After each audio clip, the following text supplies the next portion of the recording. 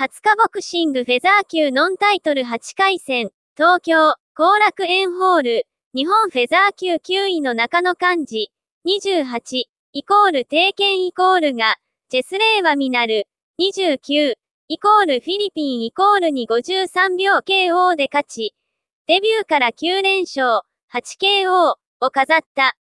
試合開始直後に左ストレートで溝落ちを打ち抜き、ダメージの深いワミナルがそのまま10カウントを効くワンパンチ KO 勝利だった。初回 KO はこれで3試合目と、ハードパンチャーぶりを発揮している。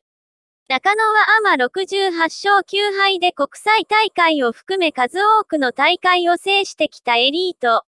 右肩を負傷した影響で昨年は1試合にとどまったが、これで4戦連続 KO 勝利でタイトル挑戦を視界に捉えた。